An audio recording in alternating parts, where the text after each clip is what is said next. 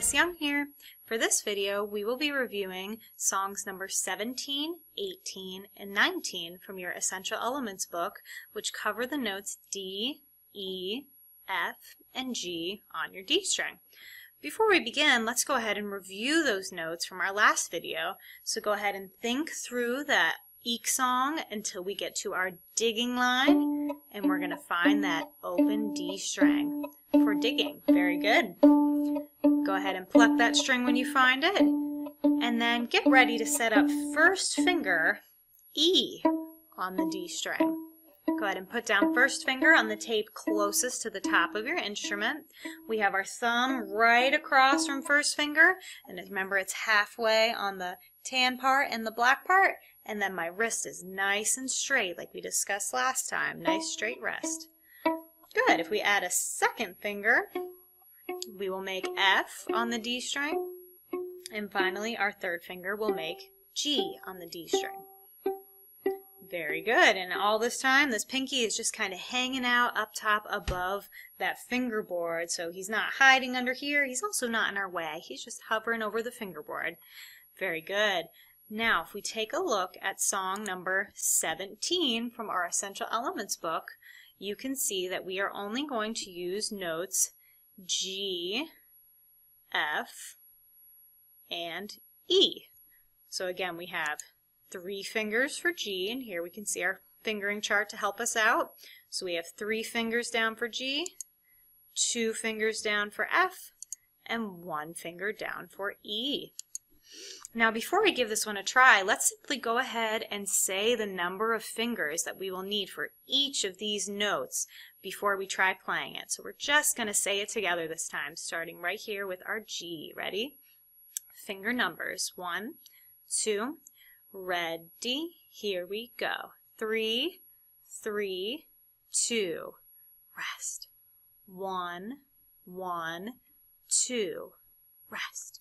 Three, two, one, two, three, three, three. Rest. Very nice. Let's go back to the beginning. Set up that third finger, G on the D string, and we'll give it a try together. One, two, ready, here we go. G, G, F, rest. E, E, F, rest. G, F, E, F, G, G, G. Rest. Very nicely done. Let's go ahead and move on to song number 18.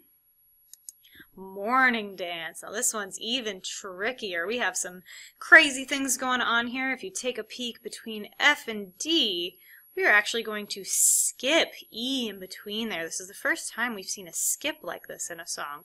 So we're going to go directly from two to no fingers. We're going to take both of those off the fingerboard at the same time. Let's practice that. Go ahead and play F on your D string and then take both fingers away and play D. Again, F, D, F, D.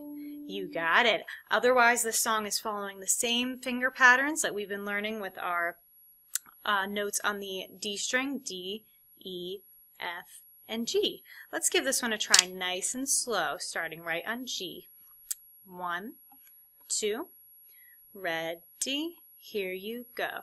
G, G, F, D, G, G, F, D, E, E, F, F, G, G, G.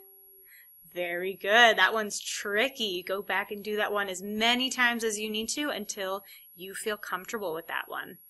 And finally, the last one I'd like to take a look at is number 19, Rolling Along. And a lot of you figured out that this is also called by another name. This is also Mary Had a Little Lamb. And in this one, we're only going to go back to using three notes, F, E, and D. So we won't need our third finger for this one. F, E, and D. Go ahead, set up that second finger F. We have that thumb across from first finger. that nice straight wrist. Ready? One, two, ready, here we go. F, E, D, E, F, F, F, sh, E, E, E, sh, F, F, F, sh, F, E, D, E, F, F, F, F, E, E, F, E, D. Excellent work. How many F's?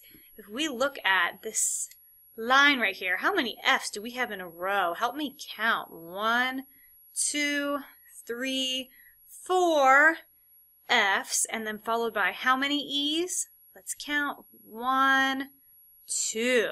Let's try that just from right here to the end, starting back with those four F's, those two E's, and finally F, E, D. Let's try that together. Four F's, two E's, F, E, D.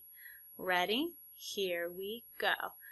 F, two, three, four, E, E, F, E, D. And there you have it. Now you know how to play Mary Had a Little Lamb on your violin. Feel free to watch this video as many times as you need to until you feel comfortable with songs number 17, 18, 19, and I will be making another video for the songs on the next page 20, 21, and 22. Happy practicing!